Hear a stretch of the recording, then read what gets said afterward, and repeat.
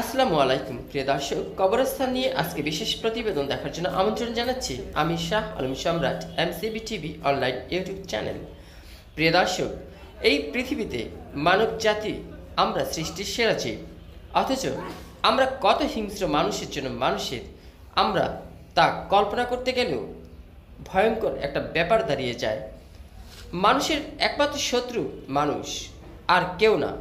পৃথিবীতে আমরা যতই জীব, জানোয়ার, জন্তুকে ভাবি আমাদের শত্রু নো নেভার আমরা মানব জাতির মধ্যে আমরা মানুষেরাই মানুষের শত্রু। আমরা একে অপরকে পিটিয়ে হত্যা করি এবং গুলি করে হত্যা করি। আমাদের এতটাই স্বার্থ এবং এতটাই অভাব, এতটাই আমাদের লোভ, লালসা, যার কারণে আমরা এত হিংস্র মানব জাতি। আমরা এই মাটিতে তৈরি হওয়া যে ফসল খেয়ে বেঁচে থাকি কত সুন্দর করে রান্না করে আমরা খাই। বেঁচে আছি আমরা যুগ যুগ ধরে প্রতিটি মানুষ ষাট থেকে সত্তর বা আশি বছর পরে কিন্তু তার মৃত্যু হতেই হয়। কোনো না কোনোভাবে মৃত্যু বরণ করতে হয়। তারপরে কিন্তু খেয়াল করেছেন, আমাদেরকেও কিন্তু অনেক সুন্দর করে গোসল করিয়ে সাজিয়ে গুছিয়ে এই কবরস্থানেই কিন্তু রেখে আসা হয়। ধাপে ধাপে আমাদের পচে গলে এবং আমাদের পোকামাকড়ের পেটেই কিন্তু আমাদের যেতে হয়, অবশেষে মাটির চাপা পড়ে যায় আমাদের কবরের উপরে। এই কবরে যে আমাদের স্থান, এই মাটিতেই কিন্তু আমাদের খেয়ে ফেলে অবশেষে। অথচ দেখেন, আমাদের একটিও আমরা ভাবি না।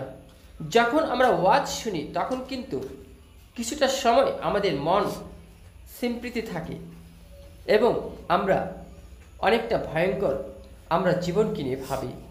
কিন্তু কিছুক্ষণ পরে কিন্তু আমরা ভুলে যাই আমাদের এই ওয়াজটা এবং আমরা যেই যেই ধর্মেরই থাকি, যেই কর্মের বা বর্ণের থাকি, আমাদের মৃত্যুকে নিয়ে আমরা যতই ভাবি, কিন্তু বাস্তবে যখন আমাদের অভাব, অনটন বা চাহিদা আমাদেরকে ভুলিয়ে দেয়, মানুষ, যে মানুষের জন্য এবং জীবন, জীবনের জন্য এই পৃথিবীটাই আমাদের অস্থায়ী নয়, এটা জাস্ট আমাদের স্থায়ী, যে যত বড়ই বিল্ডিং করুক বা যে যত টাকার মালিক থাকুক।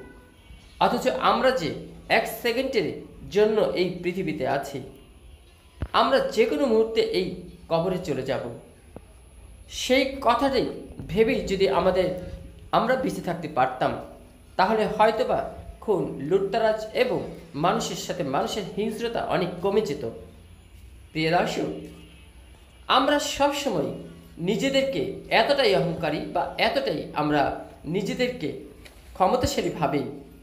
কিন্তু পাশাপাশি যখন আমরা মৃত্যুকে ভাবি, তখন কিন্তু উচিত আমাদের সব কিছু ভুলে যে মানবতার সেবায় এগিয়ে আসা বা মানবতার সেবায় সবসময় থাকা। মানুষ মানুষের জন্য। কোনো জীবজন্তু জানোয়ারের জন্য মানুষ নয় বা মানুষ কখনো কোনো জীবজন্তুর জন্য নয়। যার যার জীবন নিয়ে শেষেই ব্যস্ত।